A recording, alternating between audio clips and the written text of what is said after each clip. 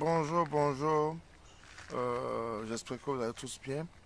Et je tiens à remercier tous ceux qui me suivent depuis que j'ai commencé cette aventure de, parler de l'Afrique en général, du développement de l'Afrique en particulier et de l'investissement en élevage et en agriculture.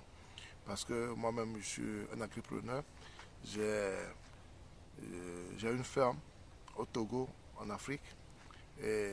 J'aime parler de ce que nous faisons dans la ferme et j'aime parler euh, de ce que les autres font également pour pouvoir motiver, pour pouvoir inciter les gens. Parce que je me dis que euh, c'est ma manière d'aider le continent, c'est ma manière d'aider l'Afrique et c'est ma manière d'aider mon pays.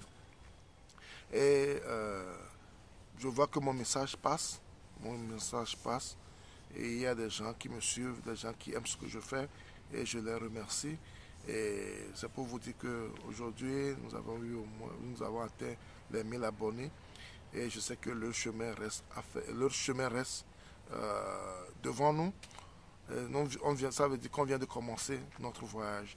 Et j'espère que le voyage là ira de l'avant et que nous, nous allons partager, nous allons euh, divulguer ce message à plus de personnes.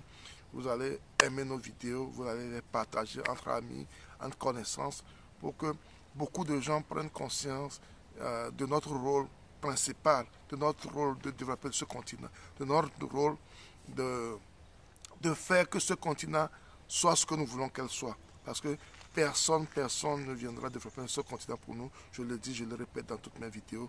Nous sommes responsables de ce continent, nous sommes responsables du développement de ce continent. Et la preuve est que vous avez vu la guerre qui, est entre la Russie et l'Ukraine, ce que le monde a débloqué en un rien de temps pour sauver, pour venir en aide en Ukraine. On n'a pas besoin de tout cela. Non, on a besoin de peut-être un dixième de cela. Et on, crie, on crie pour ça. Ça fait, après plus de, ça fait plusieurs années que nous crions pour cela. Ça fait plusieurs années que nous crions pour cela. Mais personne ne nous écoute parce que ce n'est pas leur problème. Personne ne nous écoute parce que ce n'est pas leur problème. C'est notre problème. Donc, prenons conscience, prenons conscience de la chose et travaillons pour développer ce continent. Merci une fois de plus pour tout ce qui me suit, me soutiennent et j'espère que euh, l'avenir nous donnera raison et c'est maintenant que le travail va commencer. Et merci, merci, merci et à la prochaine.